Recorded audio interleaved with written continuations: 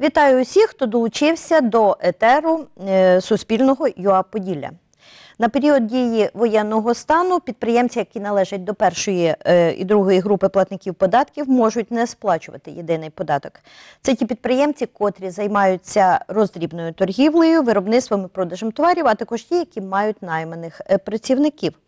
Платники третьої групи фізичні особи-підприємці з доходом не більше 10 мільярдів гривень на рік на період воєнного стану сплачують 2% податку від прибутків та звільняються від сплати податку на додану вартість.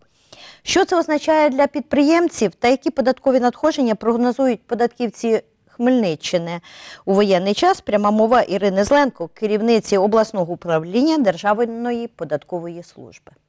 Для вас це дуже вигідно, абсолютно. Для нас щодо платежів, хочу вам сказати, що це фактично втрати більше мільярда 400 гривень на рік.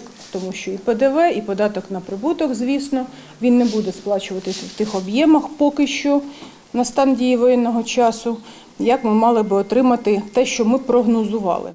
На час війни не будуть проводитися перевірки підприємців, але податківці можуть проводити фактичні перевірки.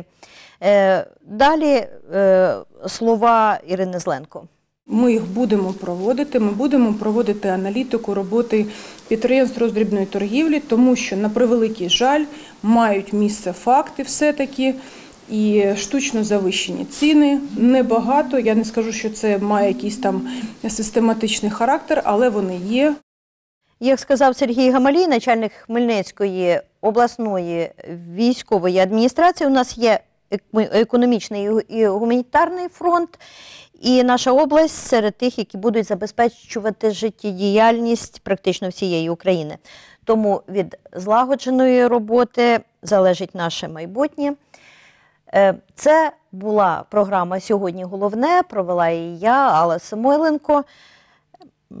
Дивіться Суспільне, аби знати про головне. Слава Україні!